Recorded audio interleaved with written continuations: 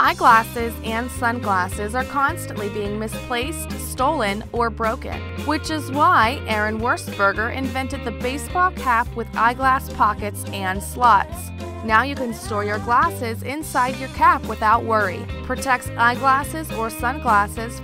Glasses slide easily into hat. Pockets keep lenses from scratching. Keep your glasses with you while on the go.